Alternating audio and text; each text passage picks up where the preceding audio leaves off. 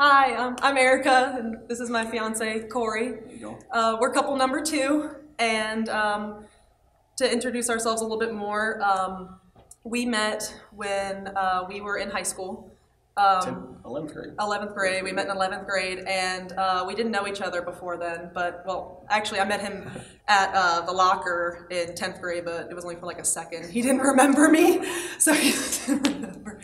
And um, but 11th grade, we had um, a lot of our classes together, And tech center bus. and the tech center bus. We rode that together. Um, and pretty much as soon as we met, we hit it off. And I'd never dated anybody before, so uh, we've been dating. We started dating in um, September of 2007. Yep. So um, yeah, and then you want to talk about when we got engaged?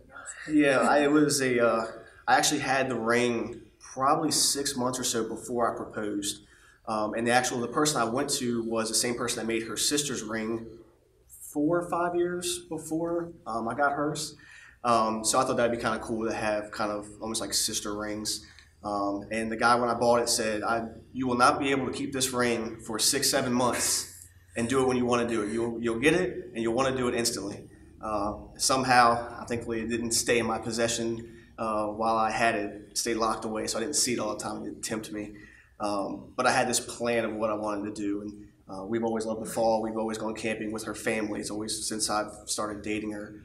Um, Oh, and the We- funny thing is that my friends told me in the past that you know they kind of knew when Corey was thinking he was gonna propose, and it was like years before. So he's had this plan apparently for years because we've been together. It'll be ten years that we've been dating this September. yeah, so nine and a half ish now. So he's been having a plan Yep. in his head for a little while. Yeah, and uh, so yeah, we waited because we always went camping with her family.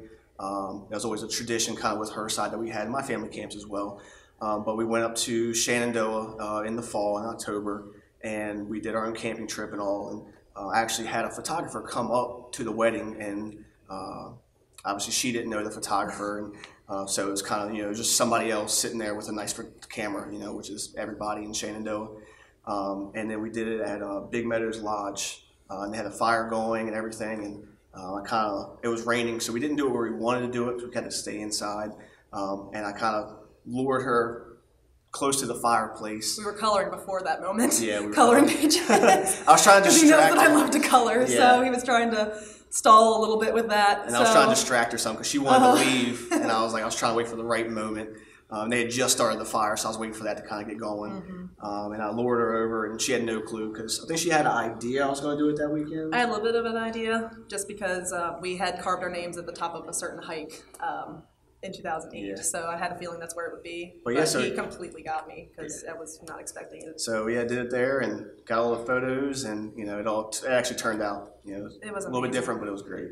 It was amazing. So, uh, but we've he's been my best friend for he's the best friend I've ever had, and we've been through a lot together. And Yeah, we just moved in together, and she graduated with her master's uh, from Towson in uh, occupational therapy. but uh, we really like to this this dream wedding would be amazing for us because we just are trying to get our lives together and get started and you know with loans and just buying a house together this would be the most amazing thing that we So could you- get So if you could vote for us, we would be, be fantastic. we would love it so much and it would be phenomenal.